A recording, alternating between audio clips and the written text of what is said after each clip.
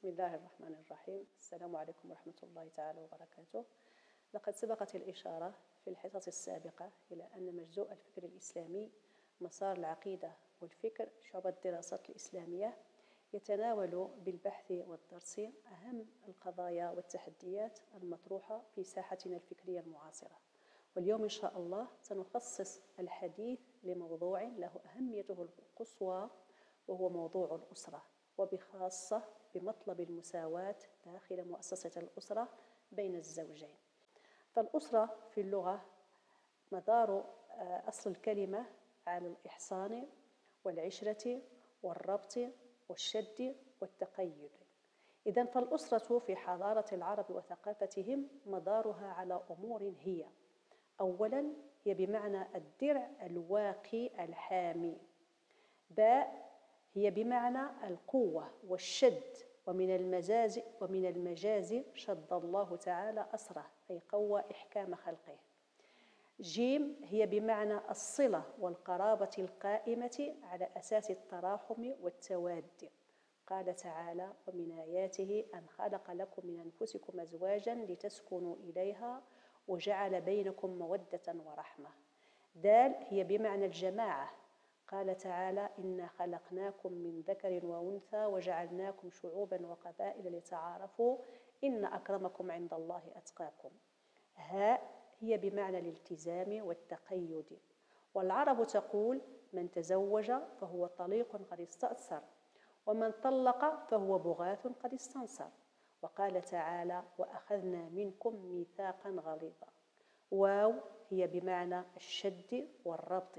قال تعالى نحن خلقناهم وشددنا أسرهم. زاي هي بمعنى الحبس والإمساك. قال تعالى إلا على أزواجهم أو ما ملكت أيمانهم فإنهم غير ملومين. وخلاصة ما تقدم أن الأسرة في حضارة العرب هي الرجل وعشيرته من زوجة وأقارب. قال ابن منظور عشير المرأة زوجها وهي عشيرته. والعشير أيضا الزوج. وتعريف الأسرة ومعناه لا يخرج عن هذا المعنى فيما عرفته الإنسانية من ثقافات إلى انعقاد مؤتمر بيكين 1995 فالأسرة في الثقافة الغربية هي فامي فاميلي وهي الأب والأم والأبناء مرتبطون برباط شرعي قصد الإحصان وإنجاب الأبناء متى تيسر ذلك. L'ensemble des personnes liées entre elles par le mariage, le père et la mère et les enfants. الأسرة في الاصطلاح. أما في الاصطلاح الشرعي فقد عرف ميثاق الأسرة الصادر عن الاتحاد العالمي لعلماء المسلمين في مادته الأولى الأسرة كما يلي. الأسرة وحدة اجتماعية تقوم على ذكر وأنثى. يربط بينهما بالتراضي ميثاق زواج شرعي قائم على العدل والإحسان والتعاون والتشاور والمودة والرحمة. قال تعالى وأنه خلق الزوجين الذكر والأنثى وقال أيضا والله جعل لكم من أنفسكم أزواجا وجعل لكم من أزواجكم بنين وحفدة وعن مكونات الأسرة يقول الميثاق في مادته الثانية تتكون الأسرة من من الزوجين ومن الأولاد إن وجدوا. أما عن مقاصد الأسرة فقد حددها الميثاق في مادته الثالثة وهي أولا الإحصان والإعفاف للزوجين وصيانة الأعراض. ثانيا حفظ النسل ورعايته صحيا واجتماعيا ونفسيا.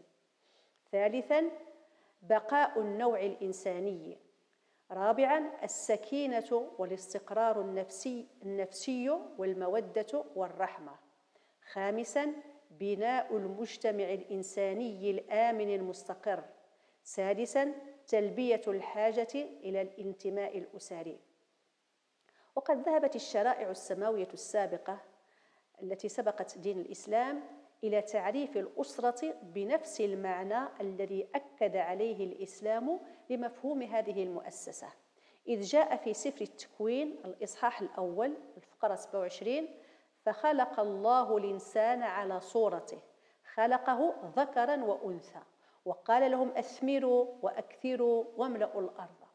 وجاء في مزامير داود الإصحاح 128 الفقرة الثالثة امرأتك مثل كرمة مثمرة في جوانب بيتك. بنوك مثل غروس الزيتون حول مائدتك. وهكذا يتأكد أن قوام الأسرة في الحضارة الإنسانية هي رجل وامرأة ذكر وأنثى. تجمع بينهما علاقة زواج ينتج, ينتج عنهما الأبناء والحفدة. ثانيا إذا بعد تعريف الأسرة في اللغة وفي الاصطلاح نتحدث عن مسألة لها أهميتها في النسق الفكري المعاصر ونريد به مطلب المساواة. مؤسسة الأسرة وإشكالية المساواة. لقد ارتبطت إشكالية المساواة داخل الأسرة بالركنين الرئيسين من أركانها وهما الزوج والزوجة. ولأن الأسرة شركة من نوع خاص رأس مالها الإنسان روح معاملاتها المكارمة. ولأن هذه المؤسسة تروم مقاصد سامية من إحصان وعفة وطمأنينة وحفظ للنوع. فإن التمييز بين أركانها بدون وجه حق أمر تستهجنه الفطر السوية وترفضه العقول السليمة لأمور منها. أولا التعارض الحاصل بين روح النظام الذي تقوم عليه مؤسسة الأسرة من عدل وإنصاف ومحبة وتعاون وغيرها من المعاني الإنسانية السامية وبين نظام التمييز في أبعاده الاحتقارية. ثانيا المصادرة الفعلية للغايات النبيلة التي من أجلها قامت مؤسسة الأسرة من استقرار وحفظ للنوع وتحقيق لأمن المجتمع. وهي أمور متعذرة الوجود مع سيادة منطق الدونية والتفاوت والاحتقار بين أفراد الأسرة. زد على ذلك هل يعقل أن تكون مؤسسة الأسرة الوحدة البشرية الأولى وأهم وحداتها على الإطلاق قد أريد لها أن تقوم على نظام التمييز والتفاوت بين أعضائها. الجواب من خلال اختيارين كبيرين. الاختيار الأول وقد وقد اختار أصحابه الإقرار بالتمييز الثابت بين الزوجين داخل مؤسسة الأسرة. ومن مبررات هذا الاختيار أصحاب هذا الاختيار ألف الاختلاف الاختلاف في التكوين الفطري بين الرجل والمرأة بين الذكر والأنثى. باء طبيعة الوظائف والأدوار كما هي موزعة بين الرجل والمرأة حيث اختص الرجل بالوظائف الشريفة التي ترفع درجته من نفقة وإشراف وتسيير بينما كان حظ المرأة الوظائف الحقيرة. من إنجاب وتربية أطفال والعمل داخل البيت. جيم طبيعة النص التشريعي المنظم للعلاقة بين الرجل والمرأة داخل الأسرة إذ أن التمييز الحاصل بينهما يعود إلى القوانين والتشريعات المنظمة لتلك العلاقة. دال الموروث الثقافي لبعض المجتمعات حيث يتم توجيه العلاقة بين الرجل والمرأة بأعراف وتقاليد تؤسس لدونية المرأة واحتقارها. الاختيار الثاني وقد اختار عدم التعريف عدم الاعتراف بالتمييز بين الجنسين لاعتبارات منها. ألف أن مؤسسة الأسرة تقوم على فردين يتحدان في النوع ويختلفان في الجنس. فالتمييز على أساس الجنس بعد الوحدة في النوع لا مبرر له من العقل ولا من النص. باء أن مؤسسة, أن مؤسسة الأسرة تحتاج في تسيير أمور حياتها إلى نظام تلتزمه وتنقاد له. ومعلوم أن هذه الأنظمة بعامة وكيفما كانت طبيعتها سماوية أو أرضية غاية المشرع منها تحقيق العدالة بين الأجناس البشرية. فكيف يشذ نظام الأسرة عن هذه القاعدة؟ فيقر بالتمييز بين الأفراد. جيم الاختلاف والتنوع في طبيعة الوظائف داخل المؤسسات بصفة عامة لم يكن يوما أساسا للتمييز بين الأفراد. فكيف يستقيم ذلك داخل مؤسسة الأسرة؟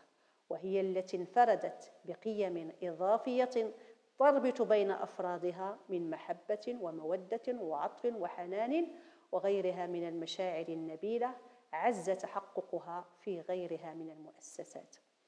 ومع رجاحة اختيارات هذه الأطروحة الأخيرة لقوة أدلتها ومعقولية مبرراتها فإن كلمة الفصل في المسألة لا يتم إلا باستحضار المنطلقات والمسارات ثم المآلات الموجهة والحاكمة لكل تلك المسائل السابقة.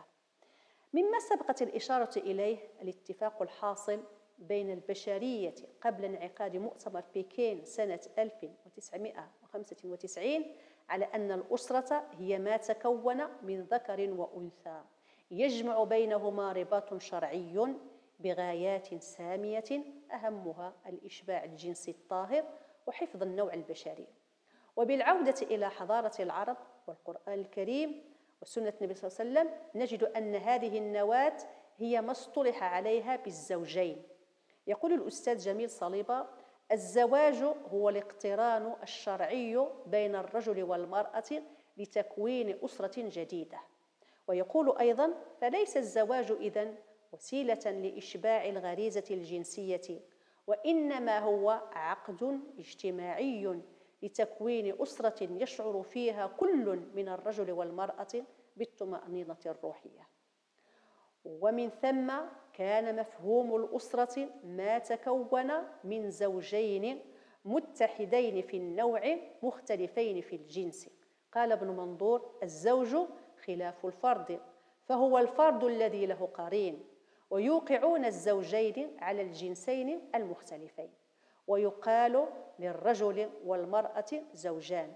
وقال تعالى أسكن أنت وزوجك الجنة وقال أيضا وأنه خلق الزوجين الذكر والأنثى إذا فأول مشهد يظهر فيه الإنسان بحسب الخطاب الإلهي فإنه يظهر على أنه زوج له قرين يتقاسم معه التكاليف ويشترك معه في المسؤوليات على وجه المناصفة والإنصاف. فكيف يعقل بعد ذلك؟ لمعنى المساواة بين الزوجين أن ينحرف عن معناه السابق ليصبح بمعنى التمييز والتفاوت. إن التتبع الدقيق لمعنى الزوجين كما ورد في نصوص الشرع الحكيم وكما تؤكده لغة العرب التي نزلت بها هذه النصوص توضح الأمر أكثر. وبذلك تتحدد طبيعة العلاقة بين الزوجين. وبالعودة إلى لغة العرب والنصوص القرآنية الشريفة نلاحظ التأكيد الحاصل ابتداء على التوازن بين عناصر الزوجين وبيانه. ألف أن الزوج هو عنصر مساو لزوجه. قال ابن منظور ويقال هما زوجان للاثنين وهما زوج وهما سواء. إذا فالزوجان في لسان العرب هما عنصران متساويان في الوحدة المكونة منهما. وقال تعالى وأنه خلق الزوجين الذكر والأنثى. فكل واحد منهما كما ترى زوج ذكر ذكرا كان أو أنثى. وزوج المرأة بعلها وزوج الرجل امرأته. وفي التنزيل أسكن أنت وزوجك الجنة. وقال تعالى أمسك عليك زوجك. إذا فقد حصل التساوي بين الكفات المكونة لهذه الوحدة. وهذا ما جعل بعض أهل اللغة كالأصمعي يفضل استعمال المصطلح بصيغة المذكر الزوج للدلالة على الشخص الذكر والأنثى رغم اختلافهما في الجنس. وحجته في ذلك النصوص السابق النصوص القرآنية السابقة التي أطلقت اللفظ بصيغة التذكير وتريد به التأنيث. قال الفيومي والفقهاء يقتصرون في الاستعمال عليها أي الزوجة بالتاء المربوطة للإيضاح وخوف التباس الذكر بالأنثى إذ لو قيل تركة فيها زوج وابن لم يعرف ذكر هو أم أنثى. إذا فالفقهاء يؤنثون الزوجة المربوطة استثناء طلبا للوضوح ودفعا للغموض. باء أن الزوج في اللغة هو نظير زوجه. احشروا الذين ظلموا وأزواجهم معناه ونظراءهم. ومن معاني النظير المساوي لغيره. وأيضا الزوج في اللغة هو بمعنى القرين المساوي لقرينه. قال ابن منظور وإذا لحق الرجل قرنه في علم أو شجاعة قيل ساواه. وقال صلى الله عليه وسلم قارنوا بين أبنائكم بمعنى سووا بين أبنائكم. دال أن الزوج هو فرد وهو نصف زوجه. قال تعالى ثمانية أزواج أراد ثمانية أفراد. وقال الأزهري وأنكر النحويون أن يكون الزوج اثنين والزوج عندهم فرد وهو الصواب. فالزوج فرد والزوجان ركنا الأسرة جمع وهما فرد زائد فرد آخر. ففسد بذلك معنى الأسرة المكونة من زوج واحد. أو من فرد واحد. قال ابن سيدة ويدل على أن الزوجين في كلام العرب اثنان قوله عز وجل وأنه خلق الزوجين الذكر والأنثى ها أن الزوج هو نفس صنف زوجه ونوعه. قال تعالى أو يزوجهم ذكرانا وإناثا أراد بالتزويج التصنيف. وقال الزمخشري وخلق الله النبات أزواجا أي أصنافا. وقال ابن منظور ويوقعون الزوجين على الجنسين المختلفين. وهو ما يؤكد أن الاتفاق والاختلاف بين الزوجين هي من الطبائع الجبلية التي فترت عليها الزوجية. وبعد هذا فإن التأمل لمعاني الزوجين كما حددتها النصوص السابقة من قرآن وسنة شريفة ولسان القوم الذي نزلت به هذه النصوص يشهد على أن معنى الزوجية يستبعد معه إلغاء التكافؤ بين طرفيها. فكيف يمكن لنصف صاحبه وقرينه ونفسه أن يتميز عن صاحبه لمجرد الاختلاف في الجنس؟ مع التسليم على أن هذا الاختلاف في الجنس بين الزوجين هو من بعض مقومات ماهية الزوجية الذي لا تأثير له على معاني الانسجام والتوافق كما تقره ضوابط الزوجية السابقة. وعليه فإن الأبعاد الدلالية للوحدة المكونة من الزوجين ترفض التمييز والانتقاص من أحد أبعاضها لاعتبارات ماهياتية وفيه إحالة على معاني التوازن بين هذه الأبعاض مع التنبيه على الاختلاف الوارد والمحتمل بينهما في بعض الخصائص مما يؤدي إلى استنتاجات مهمة منها. ألف.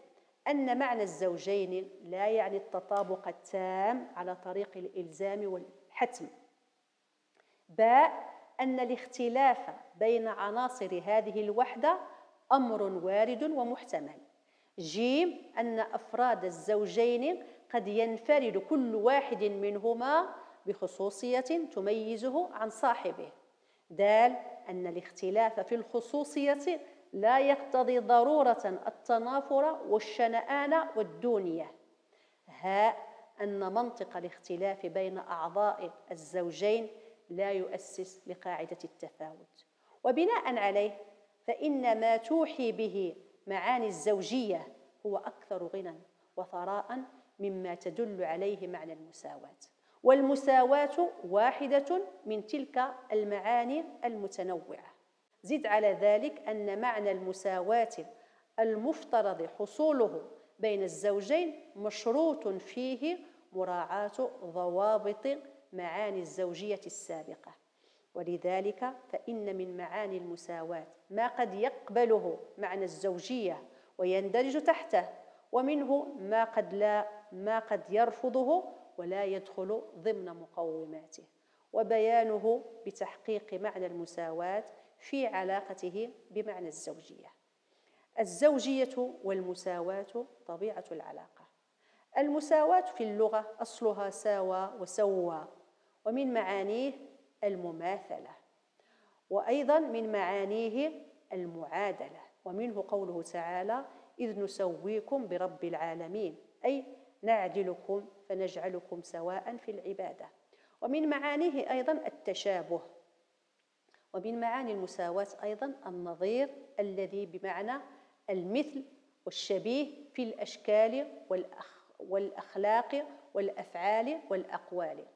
ومن الملاحظات التي يمكن أن نسجلها انطلاقا مما سبق ألف أن ما يفيده معنى المساواة من التماثل والتطابق التام بين العناصر المتساوية قد يرفضه معنى الزوجية الذي يسمح بالاختلاف في بعض المقامات بين عناصره.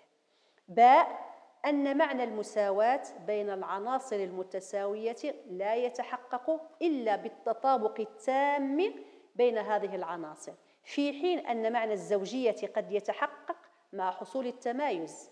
جيم أن الانسجام أن الانسجام بين العناصر المتساوية مشروط بالمماثلة في الأشكال والأخلاق والأفعال والأقوال.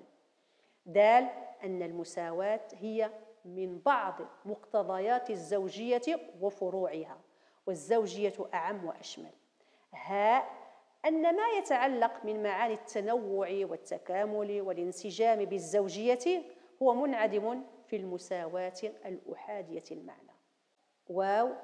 الأهم من ذلك كله هل انتفاء معنى المساواة بين أعضاء الزوجين يعتبر بالضرورة تمييزا وانتقاصا من أحدهما والجواب إن التتبع السابق لمعنى المساواة في علاقته بمعنى الزوجية يشهد على أن انتفاء المساواة بين عناصر الزوجين هو انتفاء لمعنى التماثل والتطابق التام ولا يعني قطعا الانتقاص والحط من درجة أحد هذه العناصر.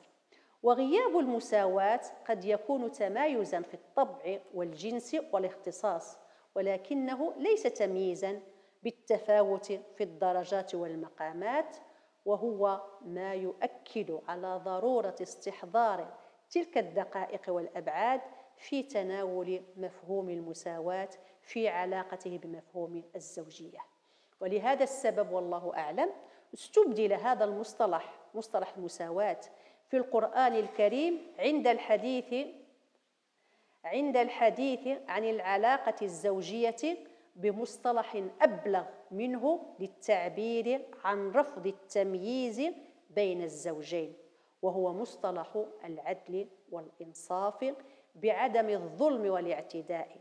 قال تعالى ولا تمسكوهن ضرارا لتعتدوا. وقال تعالى أيضا أسكنوهن من حيث سكنتم من وجدكم ولا تضاروهن لتضيقوا عليهن. وقال أيضا وعاشروهن بالمعروف. ومع كل ذلك يبقى التحدي قائما مع وجود بعض المصطلحات العربية والنصوص المقدسة التي قد يوحي ظاهرها خلاف هذه القاعدة العامة الحاكمة لمنطق العلاقة الزوجية وفيه مقدمة ذلك وعلى رأسها على الإطلاق نص القوامة والمصطلحات المندرجة تحت تحته كنص الدرجة وكمصطلح الدرجة ومصطلح الفضل. وهذا ما سنحاول بيانه إن شاء الله في الحصة القادمة. والسلام عليكم ورحمة الله تعالى وبركاته.